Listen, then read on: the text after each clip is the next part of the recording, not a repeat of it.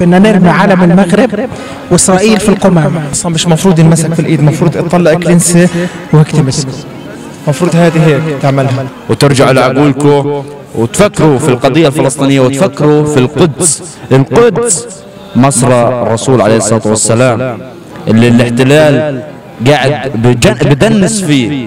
وإحنا بنسمحش لأي شخص كافر أو شخص أجنبي إنه يدنس هذا القدس القدس الشريف مرحبا متابعينا الكرام ورجعنا لكم بفيديو جديد وحلقة جديدة على قناه أنا حسام أبو الحاج بنرحب بكم أحبابي الفلسطينيين في كل مكان والعاشقين للقضية الفلسطينية أينما كانوا. بما ان نحكي للعاشقين للقضية الفلسطينية قبل يومين شفنا المغرب بالتحديد استقبلت رئيس أركان جيش إسرائيل.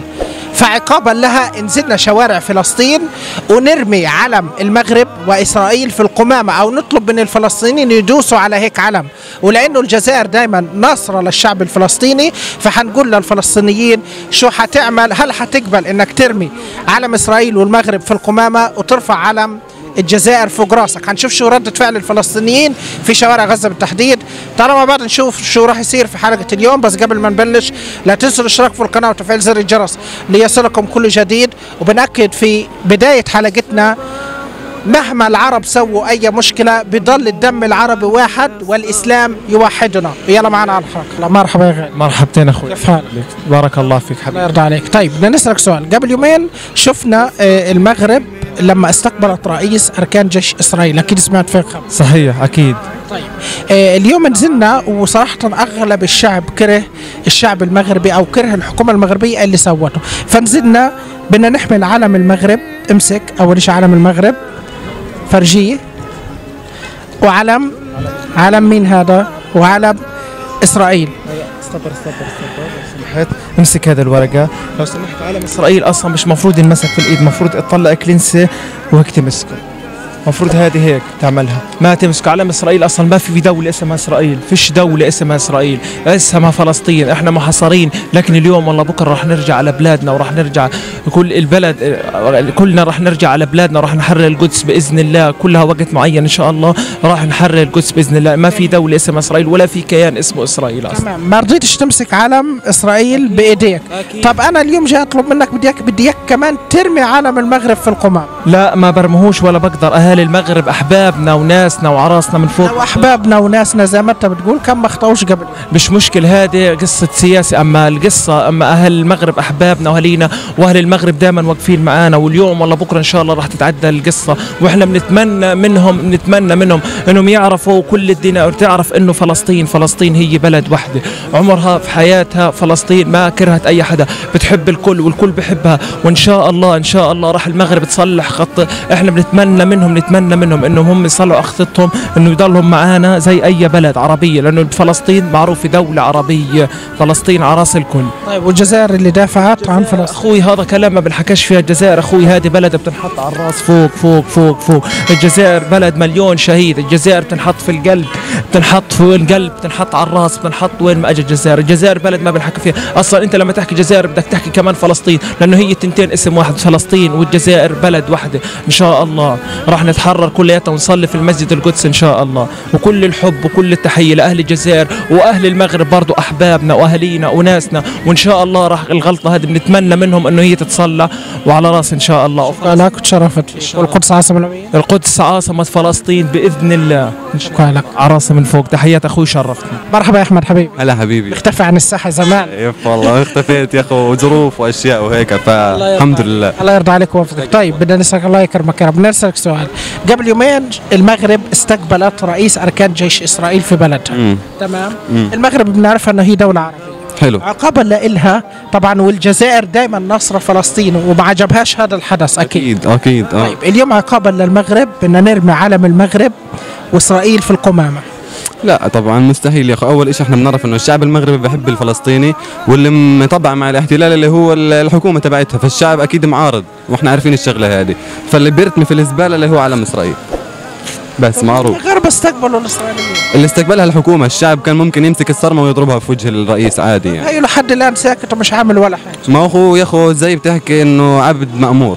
الشعب ما بيقدرش أي حاجة بيعملها ممكن الحكومة تهب فيهم. أنت عارف الأشياء هذه ف والجزائر اللي ناصرة دائما لفلسطين. هذه بوسة هذه بوسة في قلبي هذه. هم التنسيق في قلبي لأنه أصلا دول عربية وبنحييهم و لاف يو اول خلاص تشرفت حبيبي. بتار حبيبي كيف حالك؟ الله يرضى عليك. الله يرضى عليك. كيف أمورك؟ تمام الحمد لله نشكر الله. بدنا نسألك سؤال. إيه كلنا سمعنا بالحدث واللي سوته المغرب باستقبالها لرئيس جيش أركان الجيش الإسرائيلي. تمام؟ آه فلسطينيا مرفوض. عند الفلسطينية مرة. مرفوض نهائي. طيب هذا الإشي أغضب الفلسطينيين. اليوم أنا نزلت شوارع فلسطين بما إنه المغرب أغضبت فلسطين نزلت وأقول للفلسطينيين امسك علم إسرائيل والمغرب وحطهم في القمامة أو دوس عليهن. وبدك ترفع علم الدولة المناصرة اللي هي الجزائر في السماء.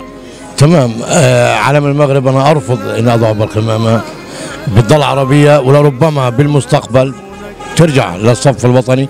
أو القياده تبعتها تكون آه أكثر حبا واق- واقترابا من آه، الشعب الفلسطيني. بس مبينين علنا إنهم بايعين القضية الفلسطينية. ولكن إحنا بضل نقول الأيام اللي جاية ممكن تغير النفوس. ان شاء الله إن شاء الله. طيب الجزائر واقفة معنا الجزائر أنا لو مسكتك علمها إيش بتعمل فيه؟ علم الجزائر أنا ببوسه هيك وبحطه على راسي. وفي على راسي. أصلا هو من من الأساس في قلبي. علم الجزائر أنا يعني مفحور فحر في القلب. يعني لو انفتح بطني هيك وخشيت على القلب حتلاقي علم الجزائر مطبوع طبع جوا وكلمة علي نيال الجزائريين فيك بتاع أنا بحب الجزائر وشعب الجزائر. على راسي بدنا نوجه كلمة لأهلنا في الجزائر بدنا نوجه كلمة آه، نتمنى المغاربة يستمعوها من الفلسطينيين. بنقول لاهلنا في الجزائر الله ينصرهم الله يقويهم. نتمنى لهم الوحدة الدائمة وللأبد آه، ما ننساش وقوفهم مع الشعب الفلسطيني. شعب مناضل شعب عظيم. شعب فلسطين وشعب الجزائر واحد. شعب المغرب إيش بدك تقول؟ شعب المغرب إحنا بنقول لشعب المغرب أنتم بتضلوا جزء لا يتجزأ من الأمة العربية والشعب العربي. وبنطالب إخوتنا في المغرب الضغط على حكومتهم على وقف أي استقبال لأي صهيوني لاي إسرائيلي على أرض المغرب. وثوروا وثوروا كثير دول فارت وتغلبت على الحكام. ان شاء الله شكرا لك عم بتار الشرف كل الاحترام قدس عاصمة الأمين فلسطين الابديه شكرا لك شرفت مرحبا يا غالي. الله يعطيك كيف العافيه؟ حبيبي يا أخوي الله. طمنا عنك الحمد لله. بدي أسألك سؤال. تفضل بتعرف المغرب والجزائر وإسرائيل؟ سمعت فيهم قبل. طبعا آه. طيب بدي أديك اليوم اللي إحنا شفنا آه، قبل يومين المغرب استقبلت رئيس آه، إسرائيل رئيس أركان جيش إسرائيل. والجزائر رفضت هيك شغلة ووقفت وساندت فلسطين. أنا اليوم لأنه المغرب فعلت هيك فعل بدي إياك أنت كفلسطيني تمسك علم المغرب وإسرائيل وتحطه بالقمامة أو تدوس عليه وترفع علم الجزائر فوق راسك. طبعا أنا بعمل هيك بس لا المغرب لا. مستحيل أحطه في القرآن جرب هاي الثلاث اعلام إيش بدك تعمل فيه؟ هذا على الجزائر. الجزائر لهالدرجه بتحب الجزائر؟ طبعا. في الوريد الجزائر. طيب والمغاربة؟ والمغرب أحلى ناس وحبايبنا كمان. أخطأوا في حقك وباعوا القضية الفلسطينية. أخطأوا وعملوا لكن إحنا بنقول الله يهديهم وبضلهم دولة عربية وبضلهم يعني من دمنا ولحمنا. بس بيستحقوش بدك بدي إياك تحطهم في لا القمار طبعا. ليش؟ لا لا لا لا. طيب اسرائيل وإسرائيل هذه هذه يعني بدون مبالغة طبعا يعني هذه كابتن عمل هذه هي كابتن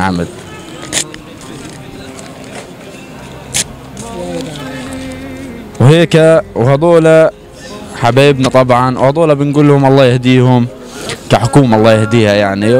وإن شاء الله بترجع لعقلها وبتسيبها من هذا الاحتلال اللي دمرنا واللي محتل القدس واللي ما اللي صار قبل يومين في المغرب؟ والله ما عجبنيش يعني الصراحة. بس إيش. خلص يعني بقول بضلهم دولة عربية وبقدرش إن أنا أشتم دولة عربية عيب في حقه وعيب في أصلنا كاحنا فلسطينيين. عمرنا ما بنشتم أي دولة عربية لأنهم دولة عربية. وبالنسبة للحكومات وهذا حسابهم عند ربنا يعني. لكن كشعب الشعب مالوش ذنب. الله يعني الله يعينه. وغلبان الشعب بالنهاية.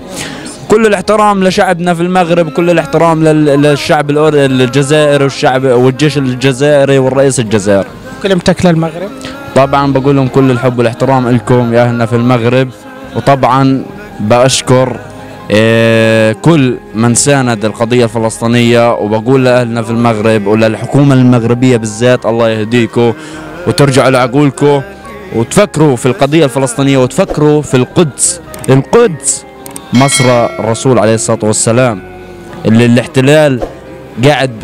بدنس فيه وإحنا بنسمحش لأي شخص كافر أو شخص أجنبي إنه يدنس هذا القدس القدس الشريف. شكرا لك. شرفت فيك وشكرا حبيبي خلاص إلى هنا أحبابنا الكرام وصلنا نهاية حلقتنا لهذا اليوم. بكل تأكيد الرد كان واضح من الفلسطينيين. علم إسرائيل لما بنشوفه إحنا كفلسطينيين يحق لنا تمزيعه لأنه لا مكان له بين الفلسطينيين وما فيش حاجة في الدنيا اسمها أصلا إسرائيل. مهما كانت الدول العربية بتصدر منها أخطاء فسيبقى الدم العربي واحد وسنبقى أصحاب إسلام وأصحاب وحدة عربية واحدة. إحنا عارفين إنه المغرب أخطأت والخطأ تبعها كبير لكن نسأل الله الهداية لها في يوم من الأيام وأن تتراجع عن قرار التطبيع مع إسرائيل. وزي ما بنعرف إنه في مغاربة موافقين على التطبيع في مغاربة كتير ونسبة أكتر مش موافقين على تعاملهم مع دولة إسرائيل. من هذا المنطلق بنسأل الهداية لأهل المغرب. كمان بنوجه تحياتنا لأهل الجزائر اللي دايما مساندين القضية الفلسطينية. وكل التحية لكل شخص حي عنده ضمير حي مؤمن بمنهية القضية الفلسطينية. هنا وصلنا نهاية حلقتنا لهذا اليوم. لا تنسوا الاشتراك في القناة وتفعيل زر الجرس. إلى لقاء جديد وحلقة جديدة في ميدان فلسطين. والسلام عليكم.